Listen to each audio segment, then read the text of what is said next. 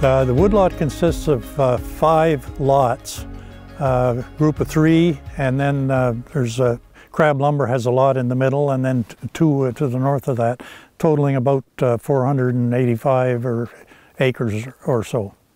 We obtained the land about 40 some years ago, and at the time, this particular area that we're, we're going to be looking at uh, was it had some uh, quite a bit of over mature fir in it, quite quite big ones, and it uh, uh the, the uh, feeling was it had to be clear cut, and it was, and it has grown up since in what what you see in the usual way, mostly a mixture of hardwoods with some fir and pioneer species mostly.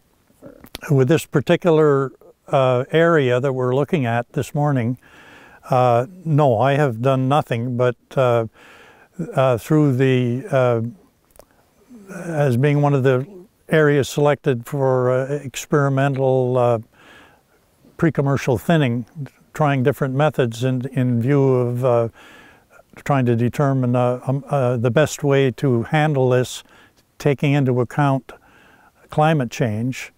this, this was done in cooperation or it was done by the uh, the uh, Federation of Woodlot Owners Association of New Brunswick, and uh, and, and with particular input from the Carleton Victoria Woodlot Owners Association, who have been very helpful to us over the years. Well, the area that we're looking at here um, is pretty typical of a lot of areas regenerating in New Brunswick. Um, it's come back with a mixture of hardwood and softwood trees. It's a, a lot of uh, poplar, there's gray birch, there's white birch, there's red maple. We also are lucky to have beech and sugar maple. And so we've got quite a mixture of hardwoods that have come back.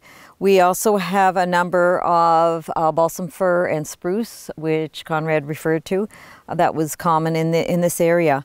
So what we had tried to do, because this is a typical thing that we're seeing in, in our clear cuts, across the province is we wanted to see maybe we should be looking at the species that maybe are going to be around in 30, 40 years and try to promote those ones and change. Uh, so we're changing our selection basically. What's, what's the uh, species that we want to have present?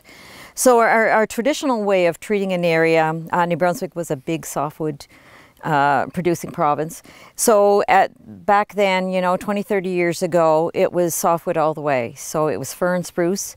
Um, it was eradicate basically all the hardwoods you could. They weren't considered important at all, um, or they had their place. They were just not considered um, a, a, commercial species as viable as the spruce and fir. So your thinnings here would have really favored all the fir and the spruce over everything else.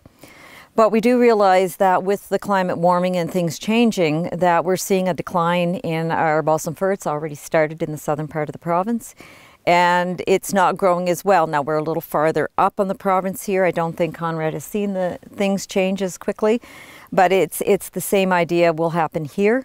And so with the traditional thinning, we would space the area out and we'd favor all the softwood we could. And after that, you would leave some, some of the hardwoods left, just as fillers, basically. In the more climate adapt approach, we were getting rid of a lot of the fir and we're favoring the the hardwoods so even white birch over over balsam fir and trying to retain sugar maple which conrad's lucky enough to have here yellow birch and um, whatever and some poplar um, it's also a species that we're not quite sure how well there's going to do but we were just really trying to change our species selection so that it it will demonstrate what trees will do better in the future we have a management plan and we'll intend to follow it the best we can, but the, uh, uh, we manage it. Uh, income is not the primary purpose, it's an important one. And uh, uh, when we got it uh, over 40 years ago, a lot of it was in field. it went into, some of it went into Christmas tree production for a number of years.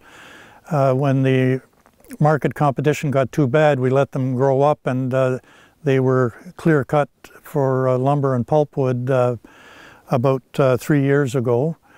and uh, we're going to continue to manage it, uh, hoping to uh, have a good stocking uh, with uh, tolerant species where we can, and uh, pass it on to a future generation probably in not that many years from now.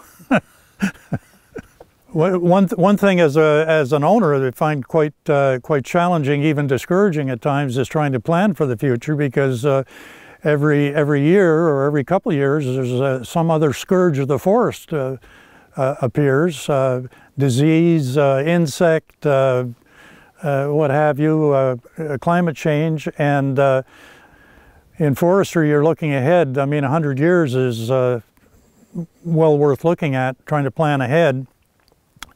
And it is very, very difficult. Well, it's impossible to know what else is going to pop up in future years. So try to do the best we can. And uh, uh, it's, uh, there's going to be surprises. And uh, anyway, we shouldn't get discouraged over it, I guess. One thing we're hoping to see through this thinning and the drone footage is that we should be able to be picking out uh, the, the spruce and the fir that are left in the traditional area. Um, we are also spacing things out a little bit wider there, trying to get a larger diameter growth quicker. In the hardwoods, we you should hopefully we're hoping that it'll really show up that there's no uh, you don't see the softwoods at all standing up. The leaves aren't on the trees yet. And that we're leaving the spacing a little bit closer and that's just to encourage the the hardwoods to grow taller sooner and then put on the diameter growth. So there should be uh, a, a difference and Conrad's comment about we don't know what's coming is is very important. We're seeing new species, diseases coming in. We're seeing uh, new insects coming in, and by trying out these different, um, having different areas, we can watch them over the years to see what becomes more susceptible to than others. And for, unfortunately, in forestry. Um, your rotation period is so long. In agriculture, You've got a year and you can see what's happening, or the plants can adapt over a couple of years. But 40, 50, 60, 70 years in forestry makes it a little bit harder for trees to adapt to the change that's going on. So, or to build up a resistance against a disease or an insect. So it becomes a little bit more of a challenge. And, and it, as we said, uh, just doing our best bet and trying to guess what might be coming and, and keeping up on the current research.